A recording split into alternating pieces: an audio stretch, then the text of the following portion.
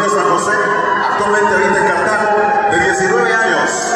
Él integra justamente el equipo PCR Pizajá desde el año 2009. Las carreras en las que ha participado son Vuelta de la Juventud 2010, donde fue campeón, Vuelta a San Carlos, Vuelta